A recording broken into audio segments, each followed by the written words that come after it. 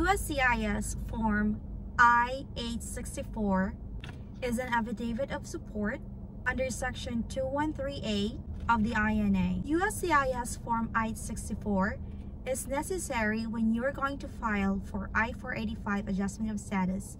This is going to help you when it comes to your husband or your spouse, specifically U.S. citizen, to their taxes and information if they can support you here in the United States of America. If you want to know more about this, so let's dive in and let the journey begin.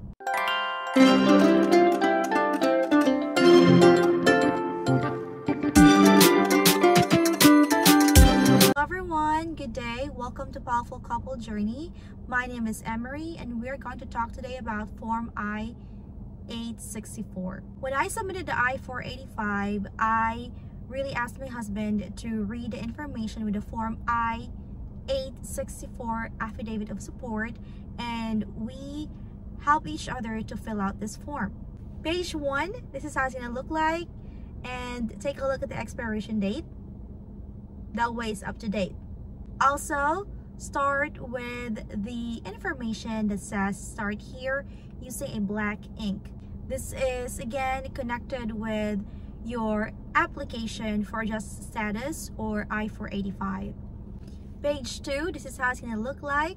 You can find this free form I-864 at the website uscis.gov. This is a free form. You can print this one and start filling your information. As you can see, I have lots of NA because this is not applicable to me. We got married with my husband. He is single and I'm single prior to marriage. So most of our information are straightforward and it's going to be simple and easy. Page 3 is about the sponsor's name. Some of the information, you can get it with your account with I-130.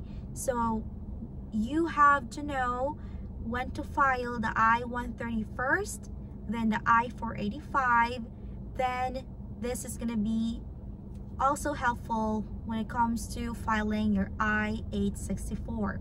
Page 4, your household income and other information you see the highlighted ones answer that one on your own because this is a case-to-case -case basis and this is all about your confidential information page 5 is about federal income tax so make sure that you have all the information as well print the PDF instruction because there is a detailed information on how you can put the tax income and with the pay stubs that you have and your husband's or U.S. citizen spouse.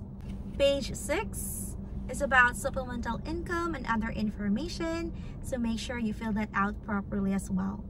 Page 7 are information about your sponsor's name, contact information, and all details. Make sure you put that properly.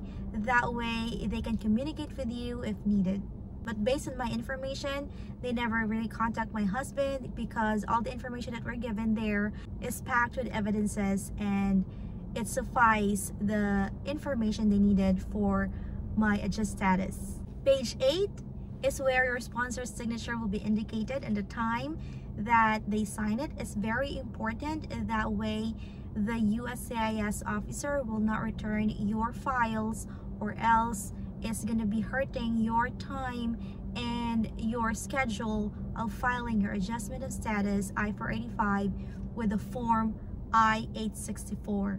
Page 9, if you have a preparer's statement or other information like an immigration lawyer, they most probably give you a G28. That's their form that they have to sign and include in all the papers.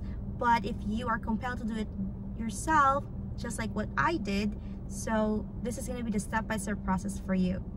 And page 10, if you have further or additional information that you would like to put but if not then just put n slash a or not applicable. But this is it. This is the end of this video when it comes to filing the form i-864 again remember this is going to be in the uscis.gov forms and print the PDF instruction. That way you can highlight the evidences that you're needing and all your documents will be included with your adjust status or I-485. Thank you so much and please stay tuned for more videos. Don't forget to like, subscribe, and share this video to our fellow J1 that are seeking further waiver through do-it-yourself process because POWELLful Couple Journey is here to help. Don't forget that we have also a website where if you wanted to have your statement of reasons, cover letters, and other information that is helping you when it comes to the J1 waiver process. Thank you so much and you have a great day. God bless!